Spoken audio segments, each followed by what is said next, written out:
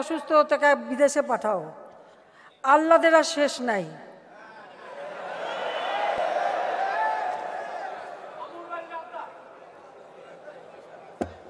পৃথিবীতে কোন দেশে আছে? এতিমের অর্থ আত্মসাৎ করে। সাজাপ্রাপ্ত আসামি জেলে ছিল। অন্তত আমি এইটুকু দয়া করেছি যে ঠিক আছে, বয়বৃদ্ধ মানুষ বা অসুস্থ হাঁটতে চলতে উঠতে বসতে অসুবিধা। শুলে একজন না ধরলে উঠতে পারে না।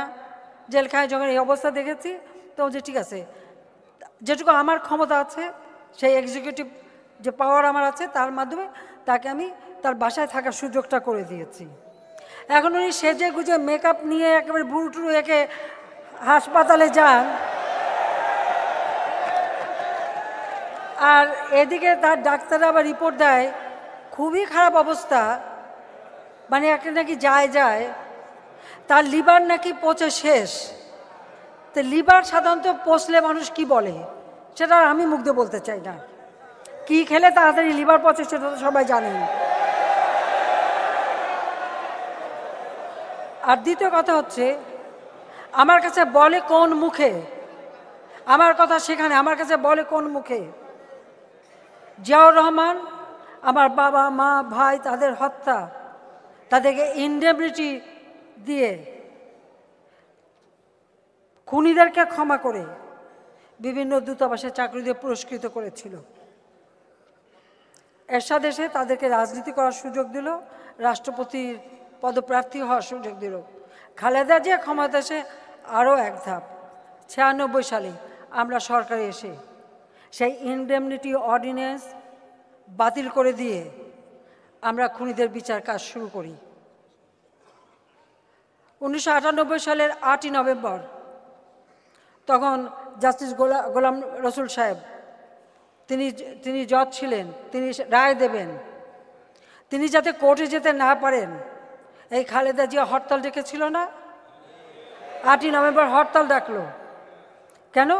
যাতে জজ সাহেব কোর্টে না যেতে পারে, খুনিদের রায়টা দিতে না পারে, সেই বাধা তারা দিয়েছে। তিনি অত্যন্ত সাহসী ছিলেন, কোর্টে গেছেন, রায় দিয়েছেন। দু হাজার একে আমি সরকার আসতে পারিনি। কেন পারিনি? কারণ আমি গ্যাস বিক্রি করতে রাজি হইনি। ভারত গ্যাস কিনবে। আমি আমার গ্যাস বিক্রি করব না। আমেরিকান কোম্পানি গ্যাস বেচবে। আমি তাদের বলে দিচ্ছি, আমি তো আমার নিজের দেশের গ্যাস বেচবো না। চক্রান্ত করা হলো। কারা কারা চক্রান্ত ছিল আমার, আমি জানি। যাক, আমরা আমরা আসতে পারলাম না ক্ষমতায়। ঠিক আছে, আমরা সেটাই মেনে নিচ্ছি যে আসতে পারলাম না। খালেদা জিয়া ক্ষমতা আসার পরে কি করেছে? সেই খুনি, সাজাপ্রাপ্ত আসামি। সাজাপ্রাপ্ত আসামি এমনকি তেসরা নভেম্বর হত্যাকাণ্ডের রায় দেবে। সেই আসামিকে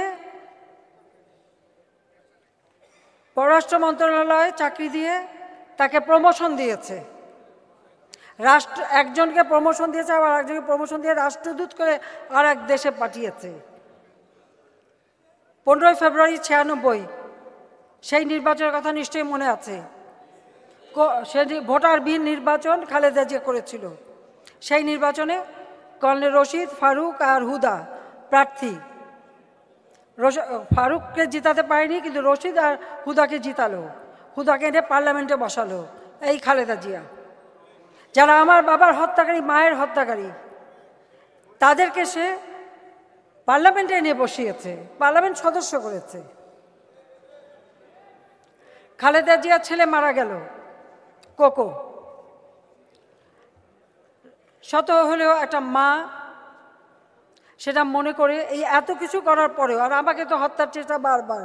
কারণ আপনার মনে আছে একুশে আগস্ট গ্রেনেড হামলার আগে বক্তৃতা দিল শেখ হাসিনা? প্রধানমন্ত্রী তো দূরের কথা, বিরোধী দলের নেতাও কোনো হতে পারবে না। তো আল্লাহ তার ডাক শুনেছে, এখন তিনি কিছুই হতে পারেননি, এটা হলো বাস্তব কথা। যাই হোক, আমি আমার জায়গা আছি।